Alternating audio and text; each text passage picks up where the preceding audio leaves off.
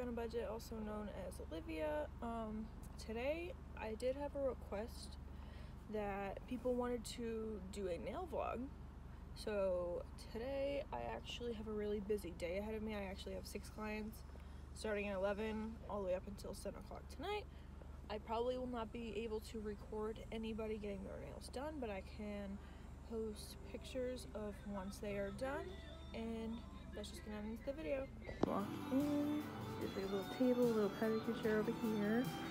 This is my station right here. Obviously I had to go with the marble. I think I showed you guys this a little bit on the channel.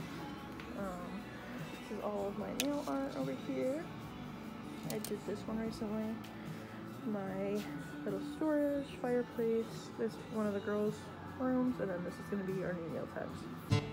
Okay, so for my first client, she just did a dip overlay over her natural nails. I just did one color and then sprinkled sparkles over it because that's how she likes it.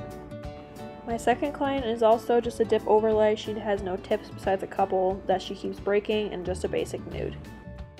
My third client just did a gel manicure on her natural nails. She likes them pretty short because she is a hairdresser. My fourth client also just did dip over her natural nails. My fifth client did gel, but she used gel in a bottle because it's stronger and she was free of charge because I worked with her. And my last client was also a gel manicure and she did a lace foil over her nails. I thought this was so satisfying to see how much dust I had at the end of the day. Thought that you guys would like it. Alright guys, that is the end of this video.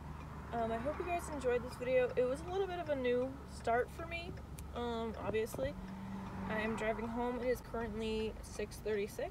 Um, had a very productive day. I will put the total right here on the screen as to how much I made today. I did have a total of six clients. So hope you guys have a good rest of your day and bye guys.